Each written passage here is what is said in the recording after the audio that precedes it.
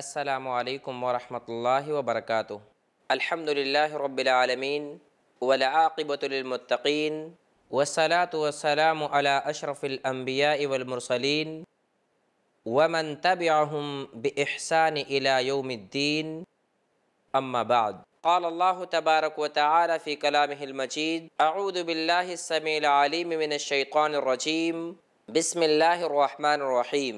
یا ایہا الذین آمنوا اتقوا اللہ وکونوا مع الصادقین ناظرین، میں سہیل احمد رحمانی، آپ تمام ناظرین کا ہمارے اس پروگرام وہ گناہ جنہیں معمولی سمجھا گیا استقبال ہے۔ ناظرین کرام، وعدے کے مطابق ایک بار پھر آپ کے سامنے حاضر ہوں۔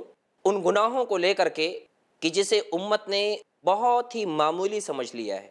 چند گناہوں کا تذکرہ چند گناہوں کے بارے میں جسے امت کے لوگوں نے بہت ہی ہلکا سمجھ لیا ہے، گزشتہ نشست میں آپ کے سامنے باتیں پیش کی گئیں۔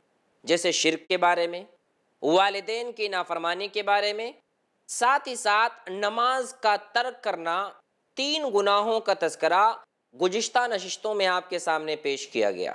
آج کی اس نشست میں انشاءاللہ آپ کے سامنے ایک نئی چیز کے تعلق سے ایک نیا گناہ گناہ تو یہ بہت دنوں سے چلا آ رہا ہے، لیکن امت کے اندر یہ گناہ لوگوں نے اتنا معمولی سمجھ لیا ہے، اتنا ہلکا سمجھ لیا ہے کہ بچے سے لے کر بوڑھے تک، کوئی جوان ہو، بچہ ہو، بوڑھا ہو، مرد ہو، عورت ہو، جہاں پر بھی اسے موقع ملتا ہے، فوراً وہ یہ گناہ کر ڈالتا ہے۔ اسے احساس نہیں ہوتا ہے۔ اور کسی گناہ کا بندے کو احساس نہ ہونا، یہ اس کے لیے اور تباہی کا سبب ہے۔ جسے ایک بندہ گناہ کرتا ہو اور گناہ کرنے کے بعد اسے احساس ہو جائے کہ ہاں مجھ سے گناہ ہو گیا۔ لیکن ایک بندہ غلطی کر رہا ہے اور اس کو وہ غلطی تصور ہی نہ کرے، یہ اس بات کی علامت ہے کہ اس کے دل پر مہر لگ چکا ہے۔ اس کا دل گناہ کر کر کے اتنا زیادہ اس گناہ کا عادی ہو گیا ہے کہ اب اس گناہ سے دور رہنا اس کے لیے بہت مشکل ہو گیا ہے۔ انہی معمولی گناہوں میں جسے امت نے معمولی سمجھا ہے، اللہ کے نزدیک معمولی نہیں ہے۔ لوگوں نے جسے معمولی سمجھا ہے، ایک گناہ ہے، جھوٹ۔ جسے عام طور سے آج معاشرے کے اندر، آفس میں، گھر میں، بیوی سے، بچوں سے، باس سے، تجارت میں ہر جگہ یہاں تک کہ دین میں بھی لوگوں نے جھوٹ جیسی قبی برائی کو عام کر کے رکھا ہے۔ اللہ اکبر۔ اللہ نے جو عظیم نعمت انسان کو عطا فرمائی ہے، عظیم نعمت کیا؟ اللہ نے قرآن مجید کے اندر بیان فرمایا کہ الرحمن علم القرآن خلق الانسان۔ اللہ اکبر۔ اللہ نے کہا، خلق الانسان، ہم نے انسان کو پیدا کیا۔ پیدا کرنے کے بعد اللہ نے بندے کو جو عظیم نعمت عطا کی ہے، اس نعمت کا اللہ نے تذکرہ کیا۔ اللہ نے کہا، علمہ البیان میں نے انسان کو بولنا سکھایا۔ میں نے انسان کو کلام کی طاقت دی کہ بندہ اپنے ذہن کی باتوں کو بڑی آسانی سے دوسرے کے سامنے کہہ سکے۔ اپنے زبان کے ذریعے سے سامنے والے کا دل جیت سکے۔ سامنے والے کو اپنے طرف مائل کر سکے۔ اپنی پریشانی، اپنی تکلیف لوگوں سے بیان کر سکے۔ اندازہ لگائے ناظرین کرام، یہ کلام کرنے کی طاقت اگر ہمارے پاس نہ ہوتی، اللہ اکبر، کتنا مشکل ہوتا کہ ہمارے جسم کے کسی فلاں حصے میں درد ہوتا تو ہم بتا نہیں پاتے۔ ایک بیوی اپنی پریشانی کو اپنے شوہر سے نہیں بتا سکتی۔ ایک بچہ جب چھوٹا ہوتا ہے، اس کو برابر سمجھ میں آتا ہے والدین کو کہ ہاں بچہ میرا تھوڑا جلدی بولنے لگے تو زیادہ اچھا ہے۔ کیوں؟ سمجھ میں نہیں آ رہا بچے کو تکلیف کہاں ہے؟ سر میں تکلیف ہے، کان میں تکلیف ہے، جسم میں تکلیف ہے، منہ میں تکلیف ہے، پیٹ میں تکلیف ہے، کہاں تکلیف ہے؟ اس کو نہیں معلوم ہوتا۔ لیکن اتنی عظیم نعمت اللہ رب العزت نے بندے کو دی ہے۔ بندہ اس نعمت کا غلط استعمال کرتا ہے۔ اور اتنا غلط استعمال، اتنا غلط استعمال کہ نبی صلی اللہ علیہ وسلم کے فرمان کے مطابق اکثر خطایا ابن آدم فی لسانی زیادہ تر غلطیاں ابن آدم اپنے زبان کے ذریعے کرتا ہے۔ غلطیوں کی کثرت انسان کے جسم میں جس مقام سے ہوتی ہے، اس کی زبان ہوتی ہے۔ جھگڑے میں شروعات زبان سے ہوتی ہے ہاتھ بعد میں اٹھتے ہیں۔ گالی میں شروعات زبان سے ہوتی۔ ہے اللہ اکبر۔ جھوٹ جب کوئی بندہ بولتا ہے تو اس کے ہاتھوں کے ذریعے وہ قلم بعد میں چلتے ہیں۔ پہلے مشورہ ہوتا ہے جھوٹ کے بارے میں۔ جھوٹ کی پوری پلاننگ ہوتی ہے۔ اللہ اکبر۔ جس زبان کو اللہ نے دیا تھا کہ بندہ اللہ تبارک و تعالیٰ کی شکر گزاری کرے، اللہ تبارک و تعالیٰ کے احسان کو بجا لائے، اس زبان سے اللہ کی حمد، اللہ کی تعریف، اللہ کی تحلیل، اللہ کی تکبیر بیان کرے۔ آج کا مسلمان اور آج کے دنیا کے لوگ اس زبان کو غلط چیزوں میں استعمال کر رہے ہیں۔ جبکہ نبی صلی اللہ علیہ وسلم نے اس بات کی ضمانت دی ہے گارنٹی دی ہے۔ اللہ اکبر۔ نسرین غور کریں کہ نبی گارنٹی دے رہے ہیں کہ جو کوئی بندہ دو چیزوں کی ضمانت مجھے دے دے، میں اس کے لیے جنت کی ضمانت دیتا ہوں۔ دونوں چیزوں میں سے سب سے پہلی چیز ماں بین لحیہی جو اس کے دونوں جبڑوں کے درمیان۔ یعنی اس کی زبان۔ زبان کا ملنا یہ ایک الگ نعمت ہے۔ اللہ اکبر۔ زبان ملنا یہ ایک الگ نعمت ہے۔ لیکن زبان میں کلام کی قوت دینا اللہ کتنی عظیم نعمت ہے۔ کتنے سارے جانور ہیں جن کی زبان تقریباً ایک ایک بالشت کی ہوتی ہے۔ ایک ایک ہاتھ کی زبان ہوتی ہے۔ جانور کو ہم دیکھ لیں، جو بڑے بڑے جانور ہیں، ان کی زبان کتنی لمبی لمبی ہوتی ہے۔ لیکن ان کو اللہ نے کلام کی طاقت نہیں دی۔ انسان چھوٹی سی زبان کیا کیا بات کر لیتا ہے۔ میں آپ تمام ناظرین سے باتیں کر رہا ہوں، آپ آسانی سے سمجھ رہے ہیں۔ بڑی آسانی سے وہ باتیں آپ کو سمجھ میں آ رہی کیوں؟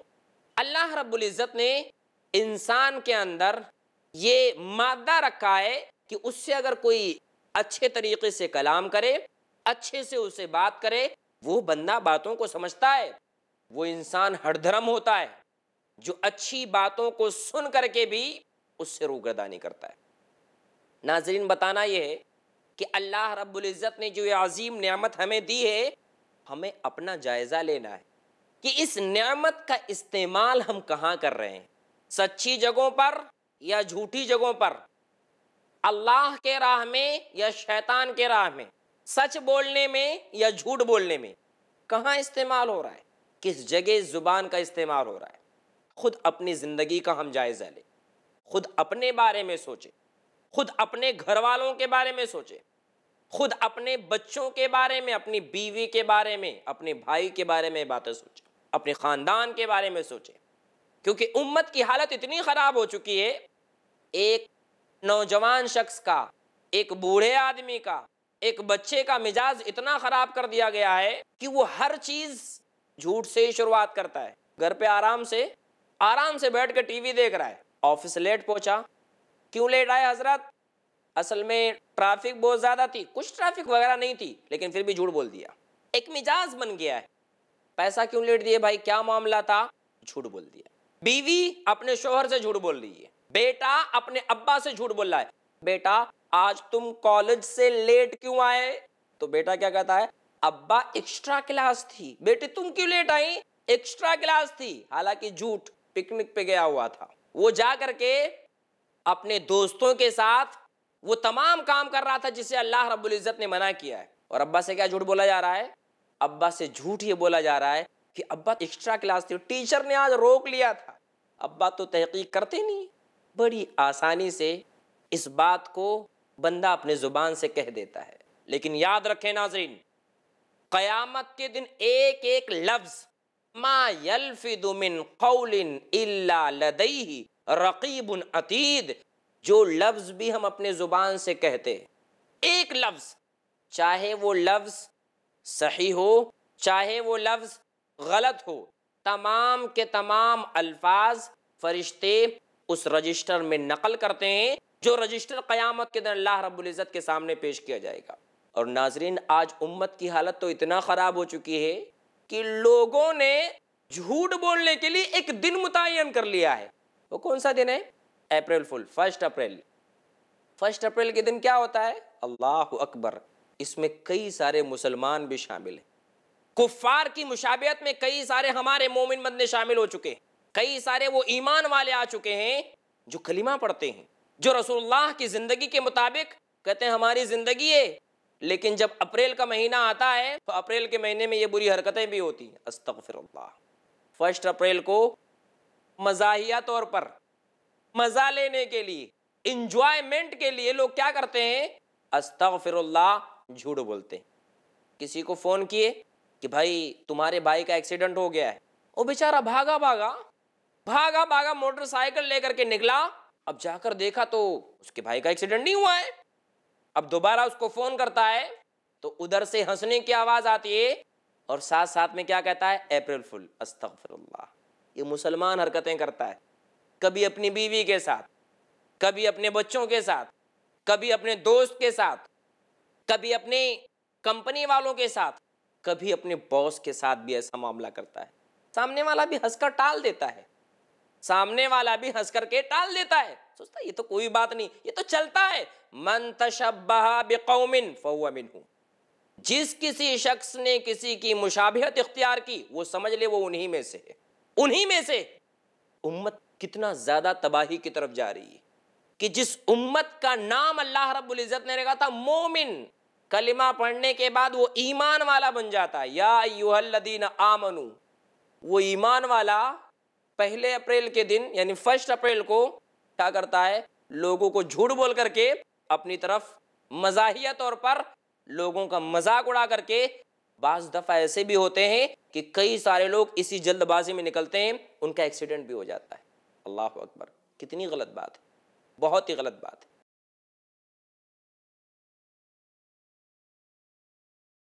اللہ رب العزت نے بالکلیہ طور پر اللہ کے رسول صلی اللہ علیہ وسلم نے مکمل طور پر جھوٹ کو ناجائز قرار دیا ہے۔ اللہ کے چند مقامات وہ باتیں انشاءاللہ اگلے نشست میں آئیں گی۔ وہ بھی سچویشن بتایا ہے۔ لیکن آج تو بالکل عام ہو چکا ہے۔ دل پر مہر لگنے کی بنا پر ایک معمولی سا انسان کچھ فروٹس خریدنے جاتا ہے، وہاں بھی جھوٹ بول دیتا ہے۔ جیسے بھائی فلا دکان پہ پوچھ کے وہ ساٹھ روپے میں دے رہا تھا۔ حالانکہ پوچھ کے نہیں آیا ہے۔ صرف اپنا ڈھارس جمانے کے لیے کہ ہاں دیکھو، مجھے بھی بھاؤ پتا ہے۔ بول دیتا جھوٹ۔ ارے وہ دکان سے لے رہا تھا، وہ تو ستر روپے میں دے رہا تھا۔ آپ ڈیڑھ سو روپے لگا کے رکھے سامنے والا سوچتا شاید یہ دیکھ کر کیا ہے۔ حالانکہ جھوٹ بولتا ہے۔ قسم قسم کی مکاریاں، قسم قسم کی دجالیاں آج امت کے اندر عام ہیں اور حالت یہ ہو چکی ہے، ایسے لوگوں کو سچا مانا جاتا ہے۔ جو ایک نمبر کا جھوٹا آدمی ہو، ایک نمبر کا جو جھوٹا آدمی ہو، ایسے لوگوں کو آپ لوگ سب سے سچا مانتے ہیں۔ لیکن جو بیچارہ سچا ہوتا ہے، اسی سچے کو لوگ ایک نمبر کا جھوٹا مانتے ہیں۔ آج عام ہو چکا ہے۔ جو کمپنی میں جھوٹ بولتا ہو، چاپلوسی کرتا ہو، وہ باس کے نزدیک سب سے اچھا ہوتا ہے۔ اور جو اس طرح کا کام نہیں کرتا ہے، جھوٹ نہیں ملتا ہے لاگ لپیٹ والی باتیں نہیں کرتا ہے، بالکل جو بات سچ ہے بول دیتا ہے، اس کو لوگ برا مانتے ہیں۔ آج بھی ایسا ہوتا ہے نا، ایک آدمی سب سے سچی بات توحید کسی کے سامنے پیش کرتا ہے تو توحید والے کو بولتے، کیا تم نئی نئی بات لے کر آگے ہو؟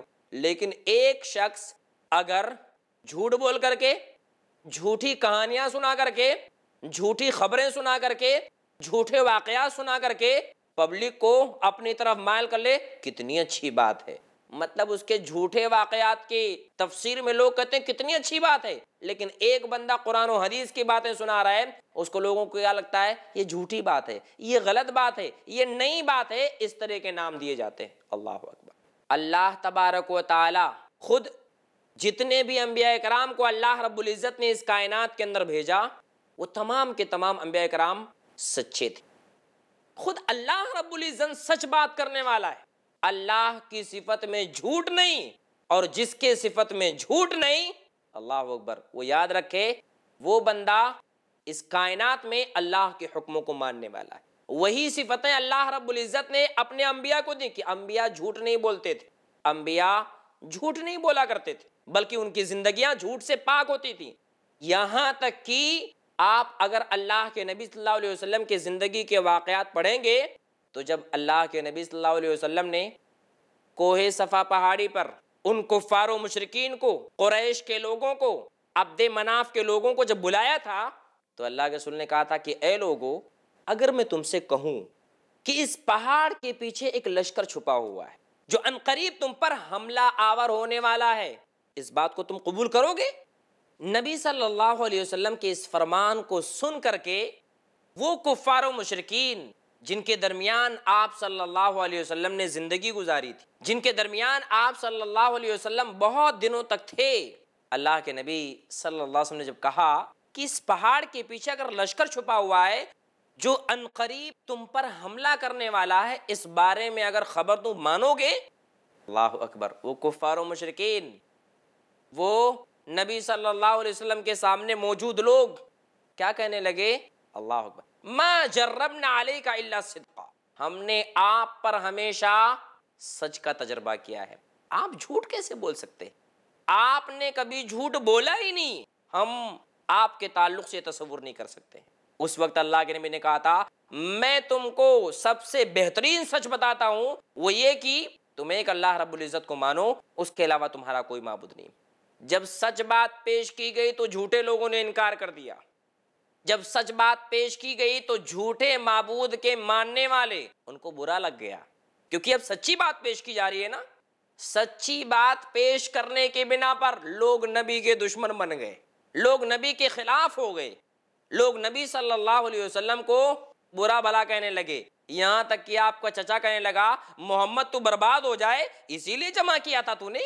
اللہ نے کہا، ابو لہب تو برباد ہو جائے۔ میرے نبی نے سچ بات کہی ہے، جھوٹ نہیں کہا ہے۔ میرے نبی نے سچی بات کہی ہے۔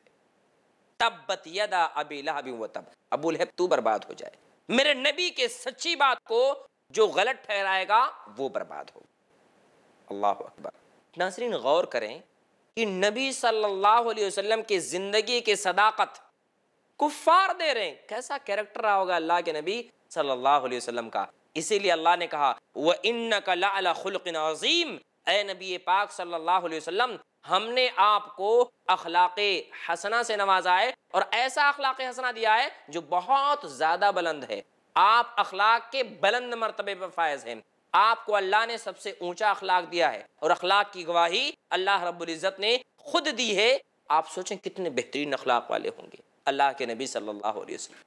ناظرین اکرام اللہ رب العزت نے قرآن مجید میں سچے لوگوں کی فضیلت بیان کی ہے کہ ایک بندہ اگر سچ بولے گا تو اس کی کیا فضیلت ہے؟ کیونکہ بندے کو اگر فضیلت بیان کی جائے تو اس کی طرف تھوڑا رغبت کرتا ہے، آگے بڑھنے کی کوشش کرتا ہے۔